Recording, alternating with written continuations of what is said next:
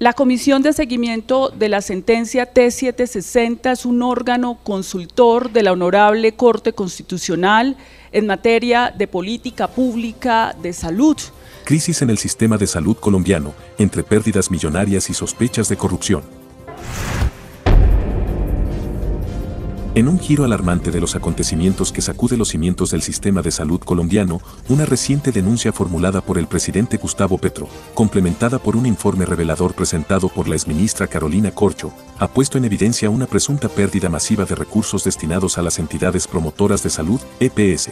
Esta comisión, junto con diversas organizaciones aquí presentes, en el año 2022, en junio, radicó ante la Corte Constitucional una alerta ciudadana y al máximo Tribunal de Derechos Humanos que había riesgo de pérdida billonaria de recursos de la salud. Este escándalo financiero no solo arroja luz sobre la crítica situación de la gestión de fondos en el sector salud, sino que también invita a una profunda reflexión sobre las estructuras de poder que han dominado este sistema durante décadas. Según el informe presentado por Carolina Corcho, vocera de la Comisión de Seguimiento de la Sentencia T760 de 2008, un órgano consultivo de la Corte Constitucional, más de 13 billones de pesos de fondos públicos destinados a la salud parecen haberse refundido sin explicación alguna.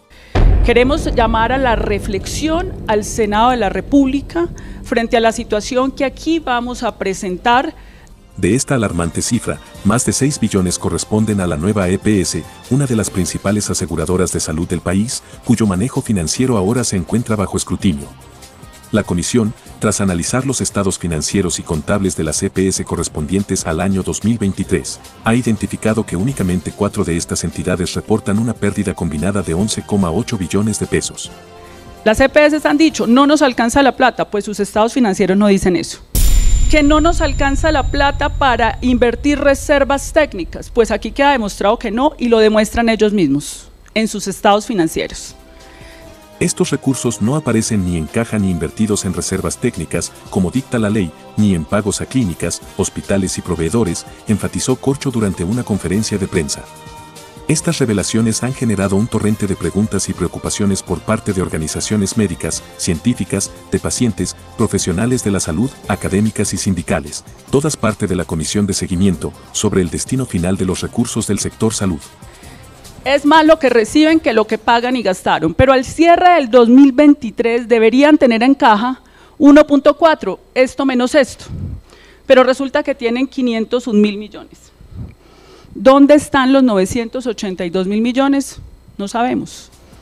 La magnitud de la situación ha llevado a que los hallazgos sean remitidos a los organismos de control competentes y a la Corte Constitucional como parte del seguimiento a la mencionada sentencia. Sin embargo, la crisis no se limita a la desaparición de fondos.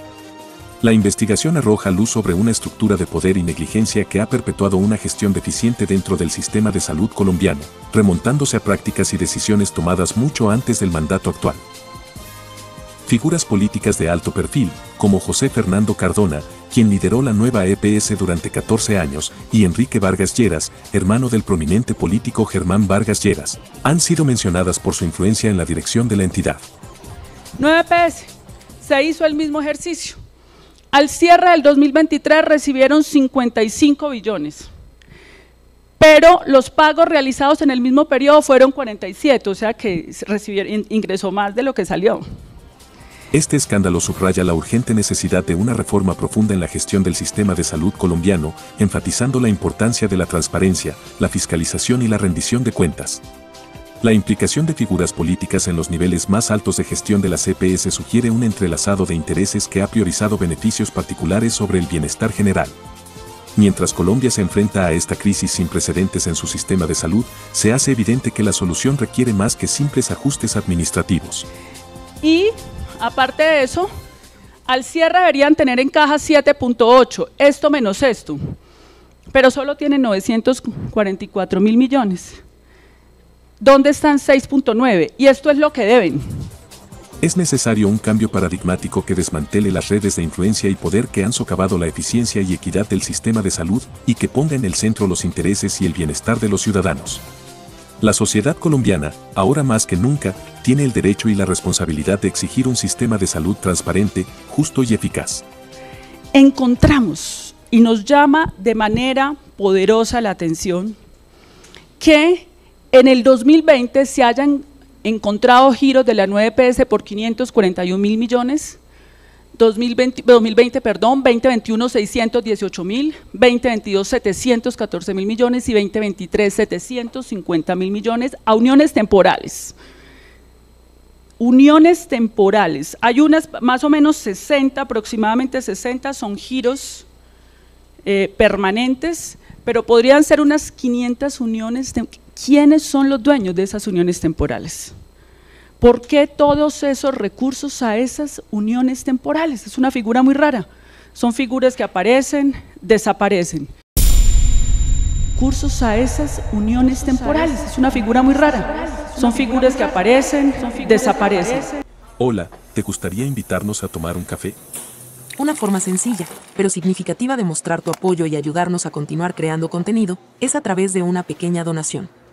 Puedes hacerlo a través de Neki 322-935-0646. Recuerda, no importa la cantidad.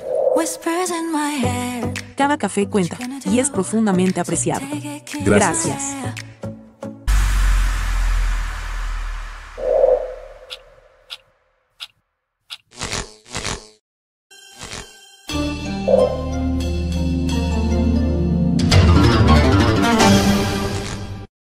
Si te gustó escuchar este artículo, suscríbete a nuestro canal, 90 Segundos Noticias.